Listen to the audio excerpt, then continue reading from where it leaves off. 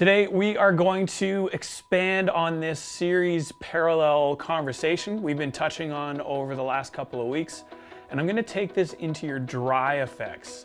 There are a couple of companies that kind of work with parallel mixers and splitters, and typically this is aimed at your wet effects, things like delays, reverbs, maybe a chorus. But what happens if you take your overdrives or a distortion and an overdrive? Whatever the gain pedal is, and run those in parallel. It's a bit of a different sound and one that can be used really well if that's the sound you're going for. So today I'm going to take two overdrives that are very different. The first one is a Keeley modded TS9. The other is a Bondi Effects Sick-As, which is based on a Klon.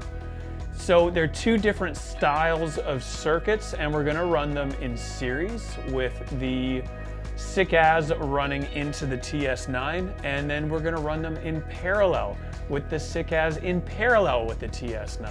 And we're just gonna see what the difference is. Which sound do you like better?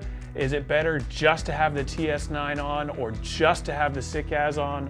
Or is it a whole nother sound to run them in parallel? Not one into the other, but at the same time in parallel, not interacting with each other. These are the sounds we're going for today. Let me know in the comments which one is your favorite. Do you like parallel, stacked series, or just the pedals one at a time, not stacked, not in parallel? Curious what you think. Let's get into these audio examples. Here we go.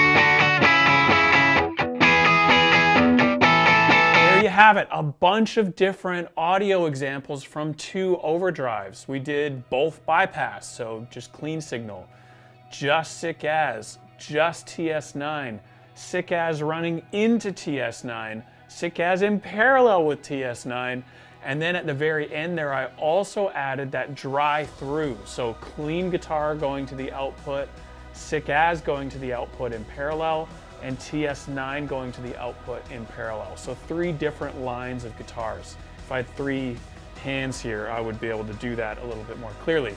But you get what I'm saying. There are a ton of options just by moving overdrives around, turning them on and off, so on and so forth. Flexible options are available without having to buy five or six different overdrive sounds. So long as you have the core sounds there that you know and love, you can manipulate them in a bunch of different ways just by getting creative with signal routing. Hopefully that was helpful. Hopefully that gave you something to think about over the next week or so. We'll see you next week for another video on the Goodwood Audio YouTube channel.